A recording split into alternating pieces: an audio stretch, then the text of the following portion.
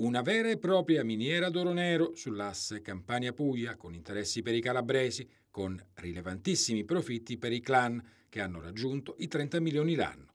Sono due degli aspetti principali dell'inchiesta su frodi nel commercio dei carburanti delle direzioni distrettuali antimafia di Potenza e Lecce, che ha portato in carcere 26 persone, 11 domiciliari, oltre alla notifica di 6 divieti di dimora. Non mancano, come detto, gli interessi dell'andrangheta. In 14 mesi di inchiesta, Carabinieri e Guardia di Finanza hanno scoperto che ingentissime quantità di carburante per uso agricolo, che gode di agevolazioni fiscali particolari, venivano vendute a soggetti che poi lo immettevano nel normale mercato dell'autotrazione, spesso utilizzando le cosiddette pompe bianche.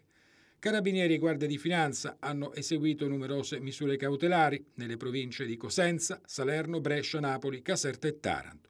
Le accuse sono associazione per delinquere con l'aggravante del metodo mafioso finalizzato alle frodi in materia d'accise e di IVA sugli oli minerali, intestazione fittizia di beni e società e truffa ai danni dello Stato.